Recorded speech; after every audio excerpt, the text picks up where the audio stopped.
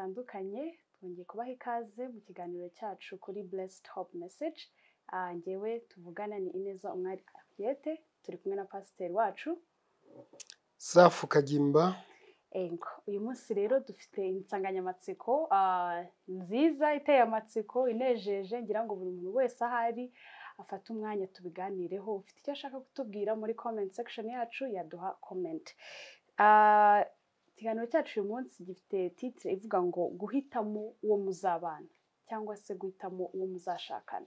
Ese twahitamo gute? Katubanze dusenge. Turagushima data mwiza turagushima kuri imana nziza turagushima ko udukunda ukadukundwa kaza kandi uhora utwifuriza ibyiza. Muri kano kanya rero data mwiza tugiye kuganira turagusabye kugira ngo uze abe ari wowe utuyobora uze abe ari utubwira igikwiriye tugomba gukora mu gihe tukiri muri iyi si dukomeze kubera ambasaderi beza kubwa Yesu Kristo umwami wacu. Amen. Pasita ntangiye kugusohoza uraho neza hariyeti Ndaho neza ndameze neza. So, uyu munsi rero dufite insanganyamatsiko abantu benshi bifuzaga ko twazaganiraho yo kwibaza turi mu myaka cyane cyane urubyiruko cyangwa se n'abamaze kubana kumenya guhitamo umuntu wawe. Wenda muzabana dufite ibibazo byinshi bigiye bitandukanye ushobora kwibaza se ni gute namenya cyangwa se ni gute umusore inkumi yamenya umuntu we bazabana? Ya murakoze? Yego. Eh, kuvuga ngo wamenya uwo muzabana Mm. ntushobora kumumenya mbere y'uko ugira igitekerezo ukagisetinga y'uko ukeneye kugira uwo mubana. Yego yego. Ariko nanone ntushobora no kugira amahitamo yawe wenyine wigengaho Mm. utemeye kuyagengwamo n'imana ntushobora no kwiha uburenganzira bwo guhitamo Mm. udatekereje ku bintu runaka uzareba mbese uwo muntu nshaka uwo nkeneye ko tubana yaba ameze ate karagiteri ugomba kureba imico ye Mm. ariko bitari n'imico ye gusa Mm. ugomba kumenya n'uburere afite yarezwe nande kandi yamureze ate Mhm. icyakurikiraho na cyo ndakikubwira. Ni ukureba mbese kubana nawe ntabwo byabangamira kwemera kwanjye? Burya ibintu wabishaka wamaze kubana n'umuntu. Abana mushobora kugira umugisha imana ikababaha. Ariko ntushobora eh, guhindura umuntu ku mbaraga zawe udafashijwe na mwuka muziranenge. Kumenya rero uwo muzabana ni cyo kibazo wambajije. Ni uko ugenda ureba mu bantu mubana ukavuga uti ariko uyu muntu ndabona nibura agerageza. Agerageza ku byo nifuza ko, twageraho njye nawe. Mm. none hari igihe rero biza ugasanga eh, abantu bavuga ko babonekerwa ko babonye ko umwuka w'imana yaberetse. Eh, umusore umwe yaragiye abwira umukobwa ati narakweretswe nabonye ko ari wowe ugomba kuba umufasha wanjye. None- noneho umusore amaze kubimubwira undi aramubwira tumva uzagenda ubwire mwuka yongera abisubiremo neza kuko nanjye hari undi yanyeretse wowe uravuga ko imana yakweretse ko ari njye ugomba kuba umufasha wawe? Mm. ariko nanjye hari undi mana yanyeretse utari wowe. Rero genda ubaze neza kuko ndatekereza ko waba wanyibeshyeho. Ntabwo rero dukwiriye kubijyana mu rwego rwo kuvuga ngo byanze bikunze bigomba kugenda gutya. Atari uriya hari abasore bajya biyahura ngo niba atari uriya no gupfa napfa. Oya ntabwo ariko biri. Mm. ahubwo muri bibiriya ijambo ry'itangirira igice cya kabiri ku murongo wa makumyabiri bavuga ngo ariko umufasha umukwiriye yari ataraboneka. Kuba ataraboneka rero ni uko abafasha abakobwa bose mwigana umwe wese afite uwo azabera umufasha. Nawe wowe hariye dufite uzabera umufasha. Ariko nturamumenya. Mm. icyakora imana izamukubwira mu buryo runaka. Ahari izamukoresha aza kubwira ati ariyete ndagukunda. Ndifuza ko wambera umufasha. Icyo cyaba ari iki- ikimenyetso kimwe. Ariko ku basore bo bibabera ingorane kuko agomba gutatona agomba kugenda abwira benshi uwa mbere yaramubwiye bo hari umusore nzi Mm. eh, wakundanye n'umuhungu bwa mbere barakundana bigeze aho iwabo w'uwo mukobwa barabibangamira ariko uwo musore kuko yari flexible ko yari azi kwiyoroshya Mm. Aroroshya aramureka. Arongera aganira n'umukobwa wa kabiri. Abona undi. Mm. aramubwira ati e wowe ube witonze nzakubwira. Aramukereza amukereza bijya kugera ku mezi atatu. Uyu musore yari umuntu usenga. Mm. avuga ati uyu nguyu igituma atansubije ni uko atari we imana ya- yanyemereye. Ku nshuro ya gatatu aragenda abwira umukobwa. Amusanga iwabo baraganira bisanzwe nta nubwo yari asanzwe agenda iwabo w'umukobwa. Amubwira tumvanga ubundi ndakuzi bihagije. Nakwifuza ko umbera umufasha. None se wabyemera? Uyu mukobwa yaramurebye ni cyo cyagukuye iwanyu? Yari yagenze urugendo rurerure kandi rugoye. Nicyo cyagukuye iwanyu? Nta kindi cyakugejeje ahangaha ubwo umuco wacu wa kinyarwanda. Ari ukubaza ababyeyi uzagenda ubwira iwanyu bazaze babaze iwacu niba bishoboka. ni ukuvuga rero ngo Mm. binyura mu nzira nyinshi. Ariko icyo ugomba kwirinda gukora ni ukubikora utabisengera. Umukobwa we ashobora kuvuga ati umva wowe wantekerejeho? Kuko washakaga na fiyanse wagize igihe cyo kunyitegereza nanjye mbigiye noneho nzakwitegereze nzagutekerezeho nzagusubize. Cyane. Umuhungu niba ari seriye Mm. ntabwo azaba ngo niba atarariyete ngo wenda ngo nzapfe ngo niba atarariyete ubaye umugore wanjye. Oya niba ari seriye azaguha igihe. Kandi numubwira ngo azakira igisubizo cyawe. Ntabwo igihe icyo ari cyo cyose tuganiriye n'umuntu tumubwira icyifuzo cyacu dukwiriye gutekereza ko igisubizo cyose cyaba pozitive oya ukwiriye kumenya ko kibasha kuba na negative kandi ukacyakira uko kiri ni ibintu bitajyanye n'ubushake bw'imana.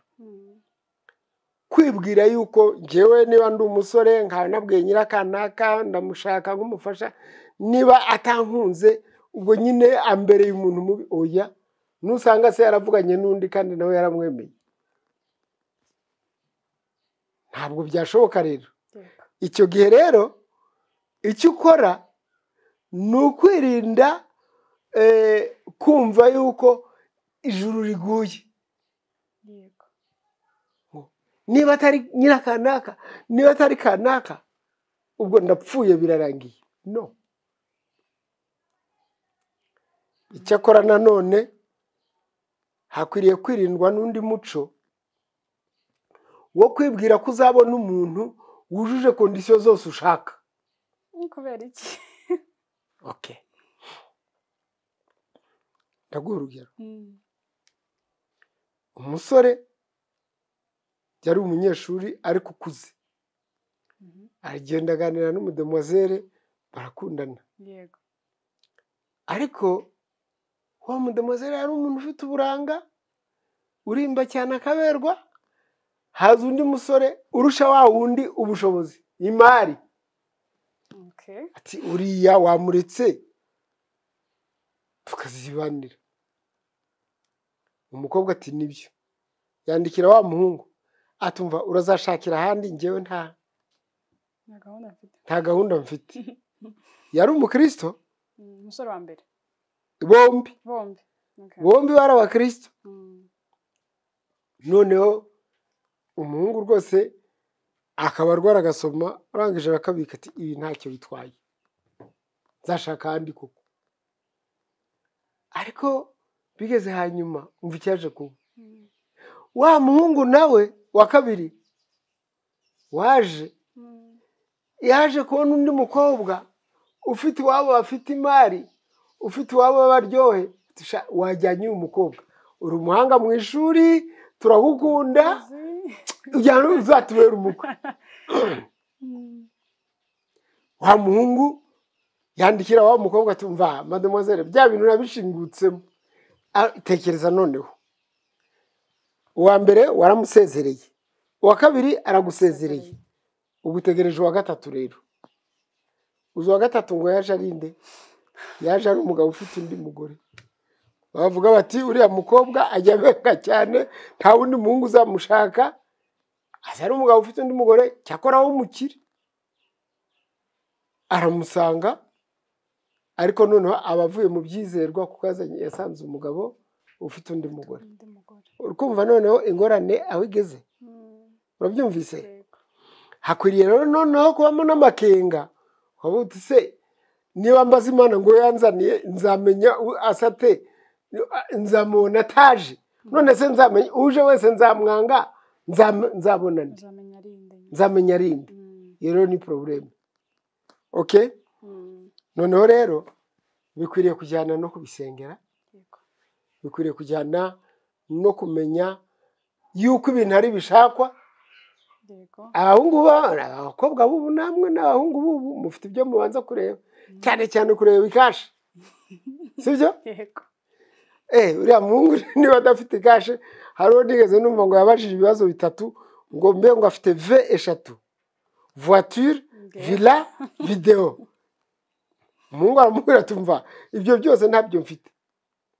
Icyo mfite ni digiri mvuye mu ishuri mfite diplome ibyo byakorerwa. Ati "Oya, niba utarabigeraho ntabwo nzagusanga uyu munsi uyu munsi tuvugana. Mm, uwo muhungu yarakoze yarakize yaramenetse.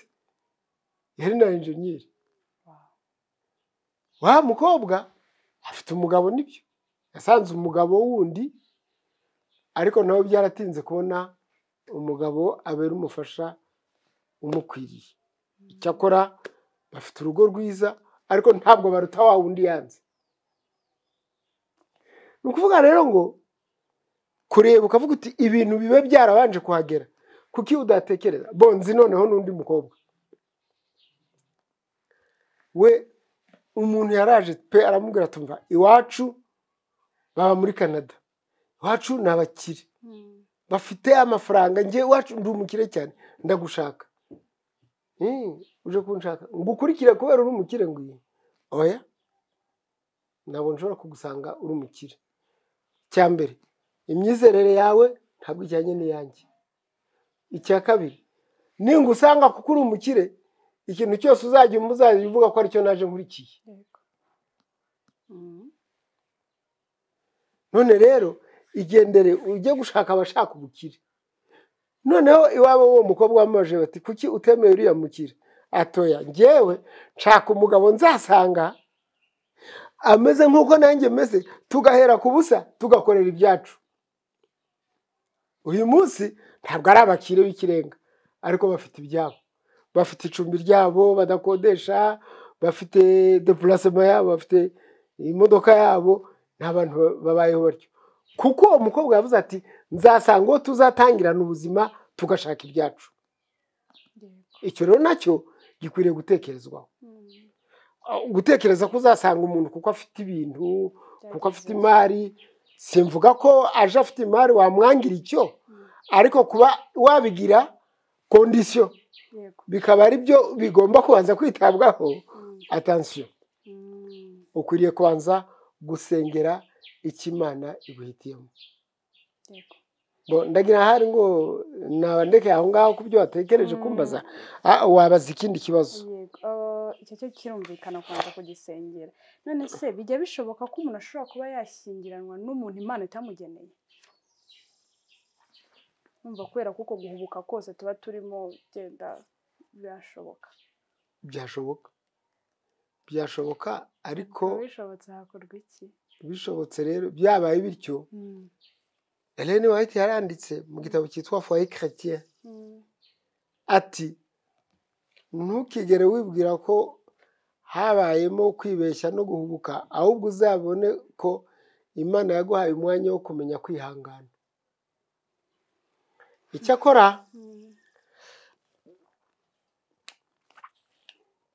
abantu benshi bagira kwihangana guke akaba yavuga ati tu namwibeshyeho reka dutane. Oya. Hari umugani w'abanyarwanda wowe uri umwana ntabwo uzi imigani. Ariko bavuze ngo usenda umugore uhekenya amagufa ukazana uyamira bunguri ukwiriye kwirinda kuko n'abandi bose baza basa nawe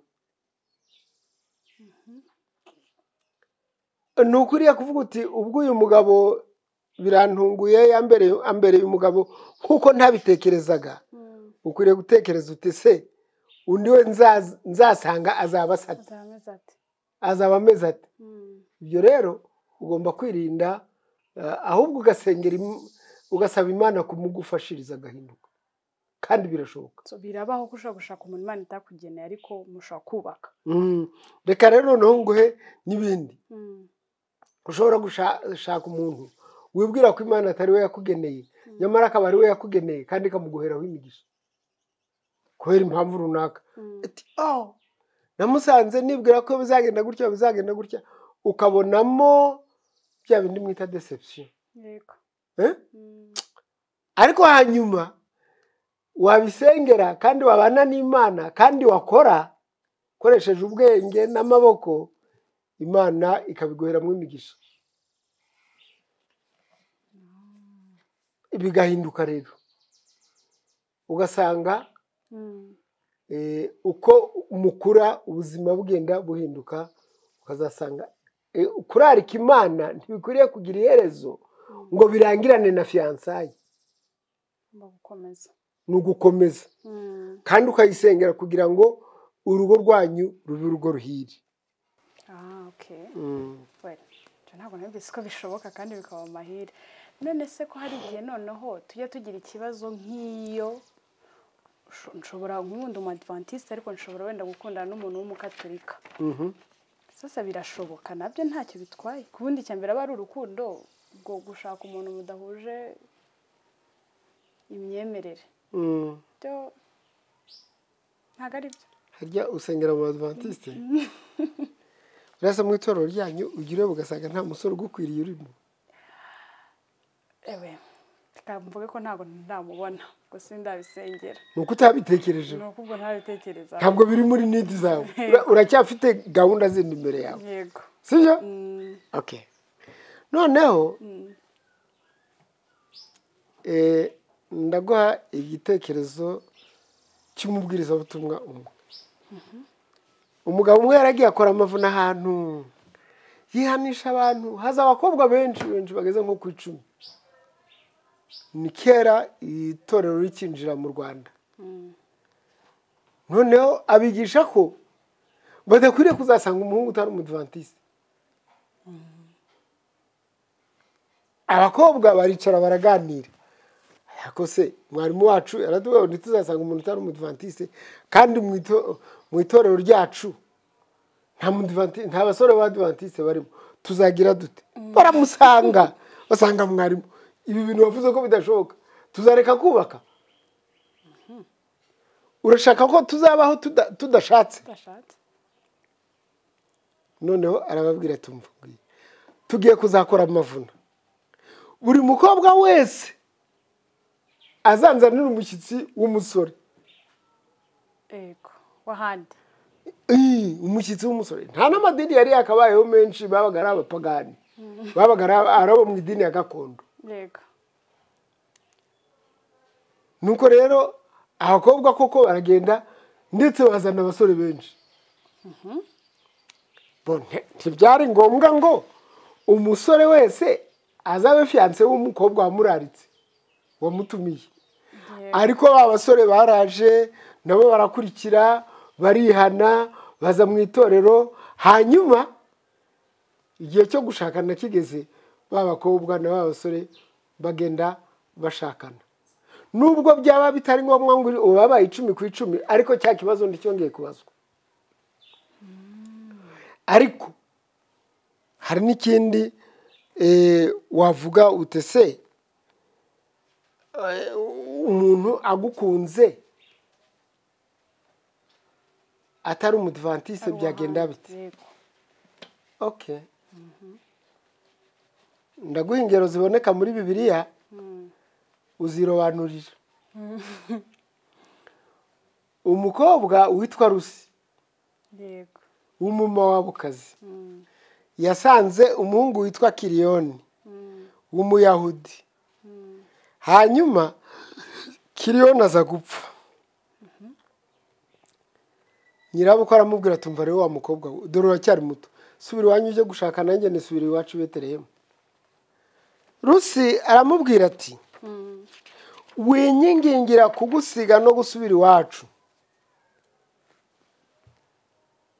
Aho uzajya ni ho nzajya aho uzaba ni ho nzaba abantu bawe nibo bazaba abantu banjye imana yawe niyo izaba imana yanjye. Reka nkubaze. Yego. Kubera iki rusi yavuze aya magambo? Yari yarabonye iki kuri nyirabukwe? Yego hariya navuga ko yari yarashimye wenda umuryango. Yari yarashimye umuryango. Baramufashe neza. Yari yarakunze nyirabukwe. Yarakunze nyirabukwe. Okay Mm, ahindura n'idini yego. Wabimo wabo basengaga ibigirwamana we yemera ko imana ya nawomi izaba imana ye. Mm, umukobwa akunzwe n'umuhungu utari umudivantiste. Hakwiriye gutekerezwa kuri ibi.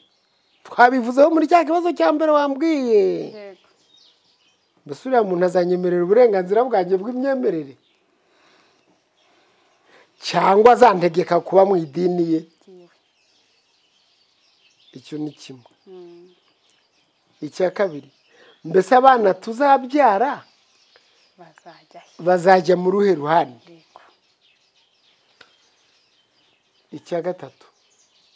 Wowe kuko wenda kubwira nk'umwana w'abadivantiste mbese papa na mama bazabibona bate ibyo bintu warangiza kubyanariza wa- wamara kubisesengura ukabona ugafata icyemezo. Ariko ntekereza ko umaze kubisengera no kugisha papa na mama inama ariho wafata decision. yego icyakora bibaye hari uwo byacitse uzi ibyacitse agasanga utari umudivantiste uzamuha igitekerezo uzamwigisha igitekerezo cya timoteyo. Timoteyo yari umwana w'umugereki. Nyina na nyirakuru bari abayahudikazi. Ariko bari baramwigishije kubaha imana yo mu ijuru. Ntiyasenga ibigirwamana bya bene wabo. Timoteyo igihe yaje kumenya inkuru ya yesu yarihannye aba umukuru w'itorero hamwe na pawulo. Byashoboka. Ariko biraruhije. Uramutse uri umukobwa ugasanga eh, abantu bo mu rindi torero byakugora kugira ngo uzabe nka yunisi na Hmm? Byakugora kugira ngo uzabe nka yunisi na loisi ibyo rero bikwiriye kwitonderwa. Ukabisengera na byo. Ukabisengera. Ariko bitavuze wenda ko ababikoze nabo bagize nabi kugira ngo wenda batumva ko bo reka reka ntabwo ngenda umucamanza. Suzi ko umucamanza ari yesu se? Ariko bivuze ko bayobotse inzira iruhije.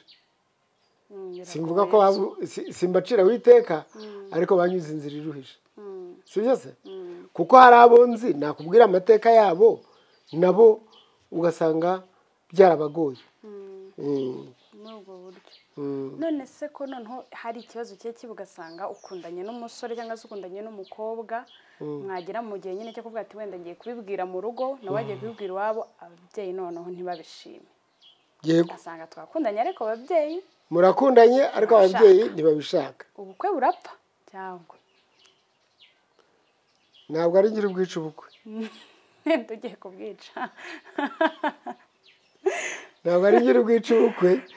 Icyo nshaka ni uko dutekereza gutya. Okay mbese ninjya muri uriya muryango batanyishimiye? Eh, inkurikizi zizaba izihe? None se ninanga umusore wankunze kandi yari inshuti yanjye yari kuzanyitaho. Nzabiregereta kugeza ryari? Icyo gihe rero tugaruke hahandi ku nama nkuru umujyanama mukuru ni yesu. Ni ukubisengera. Ariko hakazamo na flexibilité kumenya koroha. Ukavuga utari ku bundi aho kugira ngo njye mu muryango batanyishimiye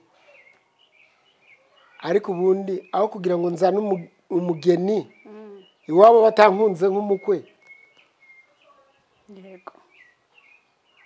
Nta bandi bageni nabona iwacu. Kuko ibyo wakongera kujya gushaka undi. Eh, nubwo haba ubwa gatatu nka wa musore nakubwiye. maze ubwo wari we wawe imana yakugeneye ariko wenda iki ari cyo kigeragezo mugomba kubanza gucamo wabwirwa n'iki se ko wamukugeneye haje muri icyo kigeragezo. Kuko isi utamenya ko imana ukavuga uti imana ntiyamugeneye niyo mpamvu haje muri iki kigeragezo? Byose kuko bitabaho? Ubwo niko kwa kwihangana nyine bisaba ngo ube umuntu wihangana kandi wirinda gufata ibyemezo byihuse. Ariko nanone ukamenya ko niba uwo muntu agukunda by'ukuri yakurekera uburenganzira bwawe. Buriya wariteri torobici yanditse igitabo kivuga ngo nakunze umukobwa. Arandika ngo niba ukunda umukobwa by'ukuri. Urukundo umukunda rukwiriye ku- umukunda rukwiriye kukujyana rukakugezaho umuha uburenganzira bwo guhitamo kuvuga ngo yego cyangwa ngo ukabyihanganira. Niba ukunda umuhungu ukwiriye kumukunda ariko ku buryo uvuga uti no. Abashije kudesida akavuga ati ibintu birahindutse. Nabyakira. Nta mpamvu rero iyo ari yo yose yatuma umuntu atekereza ko eh, impinduka muri fiyansaye ari urupfu. Cyangwa ko ari ikintu kidasanzwe. Indongozi y'itorero ry'abadventiste yo ariko yabikuye mu mu gitabo cya Ellen White cyitwa umuryango wa gikristo. Iravuga ngo gutanya ubukwe abantu batarashyingiranwa si ishyano. Bikwiriye kuba ibintu bishoboka. Ikindi kandi ukwizera kwacu gukwiriye kubona umwanya w'ingenzi cyane mu mahitamo y'uwo tuzashakana. Kuko iyo kutabonye umwanya w'ingenzi naguha ingo nyinshi nzi. Aho abantu bagiye bazana abageni cyangwa abakobwa bagasanga aba- abasore badasangiye kwizera hanyuma ugasanga harajemo buradoferi harajemo kubanishwa n'imbaraga eh, kubana ku mbaraga. Mm. rero ibyo ngibyo bikwiriye kwitonderwa niyo mpamvu eh, nta muntu ukwiriye gutesha agaciro imyizerere ye mu mahitamo y'uwo bazashakana. Pastor urakoze cyane. Ubundi iyi sije igira ibibazo byinshi. Ndizera ko n'abadukurikiye bose bazifuza kugira icyo batubwira. Ufite inyunganizi ufite ikibazo muri comment section yacu mwaza kubishyiramo kugira ngo wenda n'ubutaha tuzabihereho. Ubwo rero mbere y'uko pastor wenda agire inama ya nyuma yagira urubyiruko maze tugasoza. Ubundi ah, turabishimiye cyane. Mwakoze cyane kudukurikirana mu kiganiro cyacu by'ibyiringiro by'umugisha imana ibaho umugisha tuzongera kubonana ubutaha. Murakoze eh, inama ndi butange ku rubyiruko. Ni uko eh, gushaka uwo muzabana bikwiriye kubanza kuragizwa imana mbere yo kubwirwa undi muntu uwo ari we wese. N'uwo nguwo utekereza ko umukunda Mm, akwiriye kubimenya nyuma y'uko ubibwira imana. Ikindi niba cyane cyane ndabwira abasore niba ukunze umukobwa akakubwira ngo ya urukundo umukunda rukwiriye kugutegeka no kumuha uburenganzira bwo guhitamo. Eh, ni icyo ni cyo nagarukiraho. Reka dusenge. Mana nziza abana bawe b'abasore n'abakobwa bakeneye inama zivuye kuri wowe.